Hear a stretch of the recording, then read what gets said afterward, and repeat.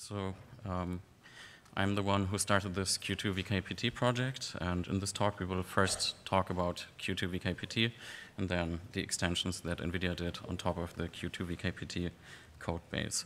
And so Q2 VKPT, a very nice acronym, so this is Quake 2 Vulkan Path Tracing. And since we will be talking about path tracing a lot, I just want to give a very brief refresher on path tracing. So path tracing is a method for constructing light paths and it's a physically based method. And it works by starting from the eye of the observer. And so you cast a ray to find the primary visible surface. So this is also what you would do with the rasterizer in a game. And then at the hit point, you perform next event estimation. So this means that you stochastically select one of the light sources. And these can actually be physically based light sources, like area light sources of any shape. So you take all candidates and you perform a stochastic sampling, and you have one candidate to actually compute the shadow ray. Next, you compute the scattering event. So this means that you importance sample the BRDF to have the material properties. You get a random direction to continue your random walk. And again, you find your hit point. And now you do for this indirectly visible surface, again, the next event estimation by finding all the suitable light sources, selecting one randomly, and computing the shadow ray. And this process goes on and on and on. So this is basically like an iterative or recursive uh, process. So you can think of this going on forever until you have reached the um, depth that you want to achieve. And so this is a stochastic process, so you get these random light paths. And to get the actual correct result, you would need infinitely many samples. And of course, you cannot afford that, so you would um, just use a limited budget. And in Q2 VKPT, we, was, we were actually using only one sample per pixel, or one of these stochastic light paths. And so, as probably everybody knows, the biggest problem when you do path tracing is how do you actually deal with the noise. So each of these random decisions that you take actually increases the level of noise. So it's actually a way higher level of noise than what you would do if you just sample, for example, the indirect illumination in a game right now.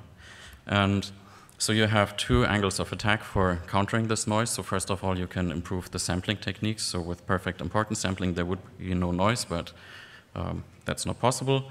And um, also you can use denoising filters to remove the uh, remaining noise. And so I started Q2 VKPT as a research project. So I've done research on denoising or reconstruction filters. And so I wanted to figure out like what is actually the current state of the art if we want to do path tracing in real time.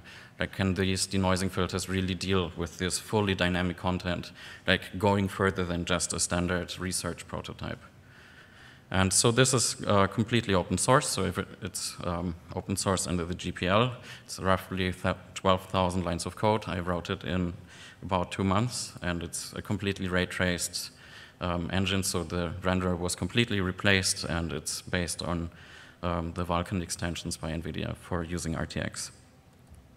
And so here you can see a short uh, video sequence, how the game actually looks like in practice. So you can see we have water reflections, we have these explosions, and these explosions actually also act as um, area light sources. You can see these nice smooth shadows outside here that are actually cast by the environment illumination. And so everything that you see here is computed fully dynamically, so there's no pre-computation of the light transport at all. And so all of these light sources that you can see here, so they have these uh, nice glossy highlights on the floors and everything is stochastically sampled here. And everything is casting um, soft shadows. And also things like these doors opening here, you would see like these dynamic shadows or from these explosions here. Okay, so in terms of performance, uh, here you can see a breakdown of the Q2 VKPT profiler, and so we achieve roughly 60 FPS, so it depends on what's going on. So water is expensive, and if you have dynamic um, explosions, then it also can drop lower than 60 FPS. And, but still, it's a fairly reasonable performance.